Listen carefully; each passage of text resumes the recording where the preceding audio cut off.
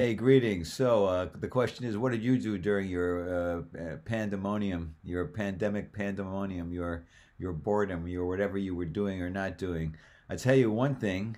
Uh, you know, hopefully you were reassessing your life, the things that uh, matter to you most, the things that you recognize were a foolish waste of time, perhaps appreciating certain things, being grateful for certain things you really took for granted, hopefully you've used some of this time to have some self-reflection and to and to perhaps uh, pick out some new choices, new direction to the future and to the destiny that you hope to manifest, uh, and make it a good one by making better choices than you have.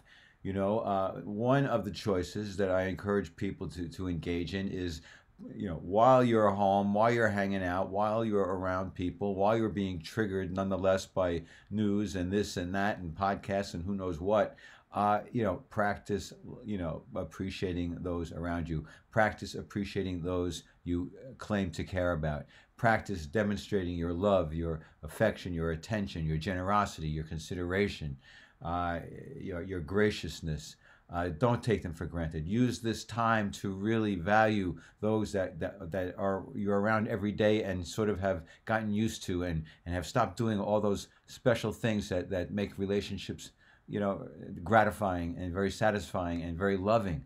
Uh, we've, in general, I think we have gotten way too complacent with our relationships and the way we behave, and we've fallen into ruts and we've fallen into default ways of reacting with irritability or sarcasm or th- this or that. And there are various forms of attack actually uh, they're very and they're actually not very compassionate or loving or kind or, or generous at all and, uh, very unforgiving, very judgmental. And uh, we should use this time to reform ourselves, to make ourselves better, to make our to, to release a lot of our judgments and resentments and grievances and jealousies and comparisons and and to get out of our ego and to and to practice more about loving others and forgiving others and accepting others, even those who we disagree with, even those who seem to have their head up there, you know what. Okay, listen, we're all in this together. And uh, even uh, those of us who blunder, those of us who may be dark in spirit, who knows what,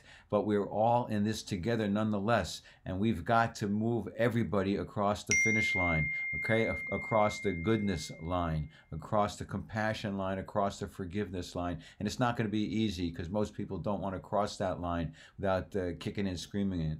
But the point is, we've all got to get there. Use this time to love ye one another. Use this time to appreciate those around you. Use this time to be grateful for what you've got despite what you don't have or what you may have lost in all of this. Be grateful for the blessings that you have in your life despite the losses and the lacks, right? And appreciate and be grateful for those around you, large and small, people who have done little things that have mattered, people who have done big things that have mattered. Appreciate, give back, pay it forward do the right thing. Stop being so angry and judgmental. Stop attacking others because they have a different point of view. Okay? If you want your world to get better, if you want our world to get better, right, you have to get better. You have to be more tolerant. You have to be more accepting. You have to be more loving. You have to be more sensitive to other people's feelings. Right? You have to be more more tactful, more diplomatic, more gracious, more loving. All of it.